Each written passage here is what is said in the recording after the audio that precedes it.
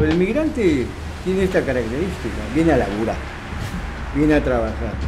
Muchas veces son discriminadas. Me contaba una de ellas que trabaja doméstica que le hacían este, dormir en una piscina vacía en Punta del Este. Aquí a mí se me ha ido la alegría totalmente. ¿Por qué te viniste de Cuba? Eh, muchas personas han abandonado el país por problemas políticos, pero yo en mi caso abandono el país por problemas económicos. Yo vine de Colombia por los grupos armados y me siento amenazado. Yo me mataron mi pai, me mataron sobrinos, me mataron hermanos. Este miércoles en Cámara Testigo, Uruguay, país destino de inmigrantes. Cámara Testigo, nuevo día y horario.